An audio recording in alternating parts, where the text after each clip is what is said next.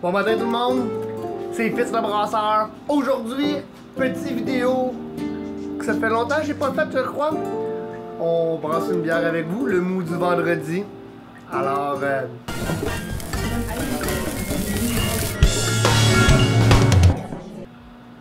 bon matin. Je sais bien que ça veut pas dire que vous l'écoutez le matin, mais pour moi, il est présentement 7h17. On a mis l'eau à chauffer. Fait que le petit bruit de fond que vous attendez, c'est mes éléments chauffants qui sont en train de fonctionner. Aujourd'hui, pour vous, on vous brasse une Emerbeer. La Emerbeer, c'est une bière qui est très, très, très, très, très peu commune. Brasser un vieux style, c'est vraiment le fun, ça nous fait voyager comme que je disais. Puis aujourd'hui, j'ai fait la Emerbeer. Emerbeer, c'est quoi? C'est fait de 50% de blé et d'orge et d'eau et de houblon. C'est une bière qui est un petit peu plus foncée, plus torréfiée. Alors ça va être une bière qui va être un petit peu côté plus rougeâtre, brune. C'est super bon. Pour faire ce type de bière là, j'ai utilisé une levure de type, euh, je vous le dis pas. Si vous l'achetez, vous le saurez. Alors euh, ça tire aux alentours de 5,6% d'alcool.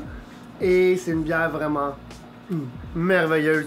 Si vous avez la possibilité d'acheter un mou la prochaine fois que je le fais, tant mieux. Sinon, aujourd'hui pour euh, la MRB, on brasse dans un système de 100 litres qui est rendu un petit peu plus gros que 100 litres évidemment. Fait qu'on va vous montrer toutes les étapes de brassage au complet, encore avec euh, le mash, le tour, le test diode, euh, l'ébullition. J'ai déjà tout préparé mon système. Mon grain est déjà moulu, mon l'eau est, est déjà dedans il reste juste à la faire chauffer.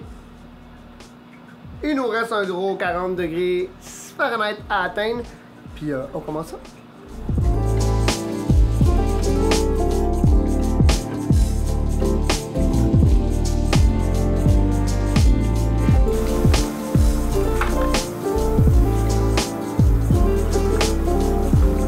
Toujours faire le moteur, super important.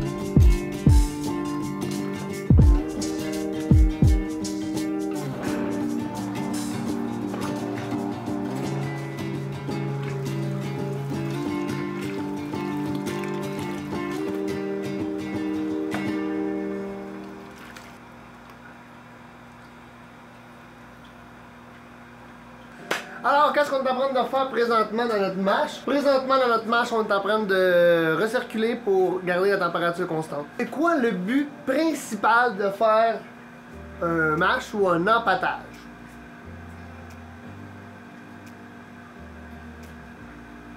Alors, euh, oui, c'est de faire de la bière, le but de faire le mash, mais dans le processus de la bière, le but de faire un mash, de sortir le plus de sucre possible de votre empattage. Ça veut dire qu'on va train de créer un mou sucré. Le mou sucré, ça va nous permettre à notre levure de manger le sucre et ça va faire de l'alcool et du CO2. On va mâcher plus bas, une température plus basse. On va créer plus de sucre fermenticible. Ça veut dire que la levure aura plus de facilité à manger ces sucres-là. Si on mâche plus haut, on va faire des sucres moins fermenticibles. Ça veut dire que la levure ne sera pas capable de les manger. Ça va être trop gros pour elle. Elle va les laisser de côté. Si on mâche plus bas, on va avoir un plus gros haut taux d'alcool, mais ça va être plus sec en bouche. Si on mâche plus haut, on va avoir plus de sucre résiduel, mais on va avoir un moins haut taux d'alcool pour le même volume grain et eau. Votre gravité originale va pas différencier si vous faites une bière à haut alpha ou à bas alpha. Quand la levure va manger, on va calculer le taux de sucre résiduel qui reste. Ça veut dire combien que la levure a mangé. Il y a deux choses à prendre en considération quand on fait de la bière pour avoir le taux d'alcool ou savoir où qu'on s'est planté. On a-tu calculé l'atténuation de la levure comme du monde? C'est quoi l'atténuation de la levure? C'est combien de sucre qu'elle est capable de manger, elle? Il y a un minimum puis un maximum. Fait qu'il faut que tu calcules le minimum et le maximum. Deuxième chose, est-ce que vous avez calculé le taux de sucre que vous avez mis dedans? Qui veut dire, est-ce que vous avez fait des sucres fermentibles ou des sucres non fermentibles? Ça, c'est vraiment important et ça se passe ici. Le test diode, c'est important de le faire. Vous allez gagner du temps. Vous allez aussi gagner du temps en recirculant. Fait que si vous avez un système pas comme moi ou pas comme un grandfather, prenez une tasse à mesurer, prenez le mou du bas, versez-les par le dessus.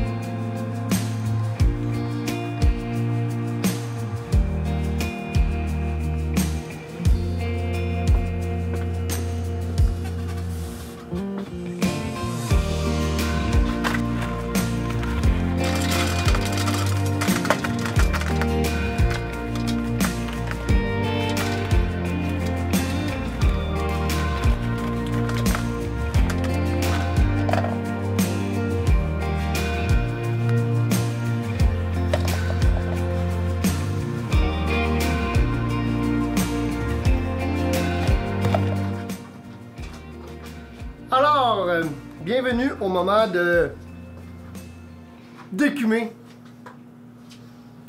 Pourquoi il faut écumer? Pour ôter toutes les mauvaises protéines, toutes les mauvaises choses qu'on a dans notre, dans notre mou de bière. Euh, L'évaporation va se faire de soi et ça va l'éliminer aussi. Par contre, euh, ça prend 15 secondes à faire, puis on est sûr qu'ils sont plus là. Ça va aider aussi à avoir un boy un petit peu plus vigoureux, un petit peu plus rapidement.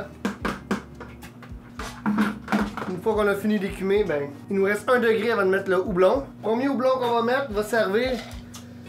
Hum, sentez-moi ça. Premier houblon qu'on va mettre va servir à l'amertume, le côté de la langue. Le nombre d'IBU le plus élevé qu'on va retrouver dans la bière va venir principalement du 60 minutes. Plus qu'on met d'addition, moins l'amertume est présente, plus on a des goûts. Mais l'amertume est tout le temps présente, même quand on met une mise à froid, c'est tout le temps présent dans le houblon. Ça va tout le temps nous donner pas nécessairement juste une impression, mais il devient euh, houblonné. Par contre, on n'a pas encore vraiment trouvé, en tout cas, où on l'a trouvé, puis je ne sais pas encore comment le calculer. Les logiciels ne le calculent pas. On peut faire des tests dans un laboratoire que lui va nous calculer. Mais on s'entend que pour la maison, à peu près, on va faire la job. Alors, 212, on démarre notre euh, compteur. hein. C'est parti pour une heure. Pendant cette heure-là, moi, je vais placer mon setup pour pouvoir faire mon refroidissement. Je vais vous montrer un peu comment je, me prépare et pourquoi le faire. Un peu comme quand on brasse avec le Grandfather, ici j'ai utilisé un refroidisseur à plaque. Il est juste ici. Le refroidisseur à plaque, c'est d'un côté on passe notre bout bouillant, l'autre côté on va passer de l'eau froide. Et le contact des deux, entre les deux plaques, va faire en sorte que ça va refroidir le mou le plus rapidement possible. Ce qu'il faut savoir, c'est que ça, c'est un nid à bactéries. Et c'est le dernier endroit où on va passer notre mou stérile. Pour être sûr qu'il soit bien stérile, qu'il soit bien nettoyé, je vais passer un mou chaud à 212, 100 degrés Celsius, pendant 15 minutes. Beaucoup de monde me dit oui, mais 5 minutes, c'est correct. Oui, c'est correct. Mais quand on démarre le cycle, on a environ 2-3 minutes que la température descend et on n'est plus à 100 degrés. Faites-les donc pendant 15 minutes, ça prend pas plus de temps. Puis quand on met notre Irish Moss, notre caragénil, caragénil, whatever, euh, vous pouvez aussi passer votre pompe en même temps. Fait que pendant ce temps-là, moi je me prépare tout de suite pour être capable de le faire. Je vous montre ça.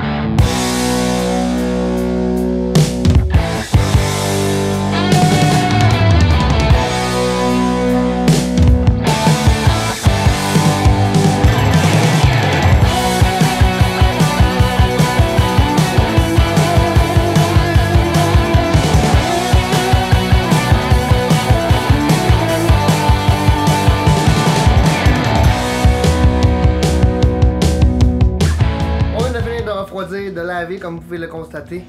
Ou comme vous avez pu le constater. On a réussi à brasser malgré les clients qui sont venus. On a refroidi vraiment rapidement. On a transféré plus rapidement. Un petit peu collant à terre. Fait qu'on va euh, refaire le, la petite mop euh, à la fin de la journée. C'était la brasse de la MRB. J'espère que tu as apprécié. J'espère que tu as appris un peu de choses. Euh, on a mis aussi un houblon qu'on n'a pas vu, vu que j'ai été un petit peu dérangé en faisant ma brasse 15 minutes avant la fin pour le, le goût de houblon. Alors ça va donner vraiment le goût. Après ça, on a refroidi, on a lavé, on a transféré, on a mis ça en fermentation et on attend que les clients viennent les chercher. Si toi aussi t'es intéressé à commencer la bière et tu sais pas par où commencer, les mots du vendredi, c'est une excellente option pour toi. Tu as juste à m'appeler, savoir qu'est-ce qui se passe, t'inscrire à ma lettre d'information sur mon site web ou sur mon Facebook. À tous les mercredis, on envoie ce qu'on fait comme bière. Tu as juste à réserver, tu m'appelles ou t'envoies un courriel ou tu commentes la publication pour dire Hey, j'ai vu celle-là. Si t'es un brasseur amateur puis que tu veux la recette, elle est disponible euh, sur mon site web. Fait que t'as juste à me demander la MRB ou tu m'envoies un courriel, je vais t'envoyer la MRB comme les ingrédients. Si vous avez aimé la vidéo, partagez un nom. Oublie pas la petite cloche pour rien oublier de qu'est-ce que je vais faire. Puis euh, on se voit dans une prochaine vidéo les amis. Bye!